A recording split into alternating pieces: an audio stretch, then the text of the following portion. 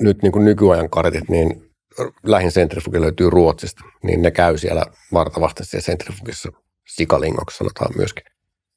Siellä, siellä sitten pyöritettävänä. Ja, Mutta se on vasta kadettikoulussa, ei vielä lentorukissa. Ei lentorukissa, joo, kadiksessa vasta sitten. Kun tavallaan lentorukissa vinkaa kehitä niin paljon keitä, niin ei ole tarkoituksenmukaista lähettää niitä sinne. Että sitten kun ne on hookilla lentää, niin sinne sitten, että sitä mä en tiedä, että, että, että onko siellä niin tarkoituksesti vedetäänkö ihmisiä niin blackouttiin tai keevokkiin.